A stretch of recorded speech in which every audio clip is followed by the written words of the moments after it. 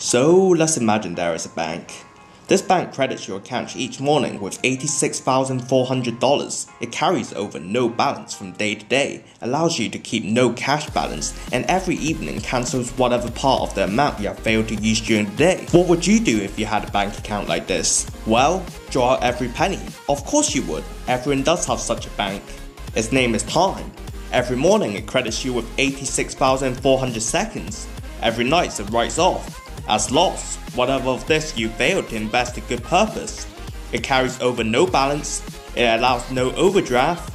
Each day it opens a new account for you, each night it burns the record of the day. If you fail to use the day's deposit, the loss is yours. There is no going back. There is no drawing against the tomorrow. Therefore, there is never not enough time or too much time. Time management is decided by us alone and nobody else. It's never the case of us not having enough time to do things, but a case of whether we want to do it.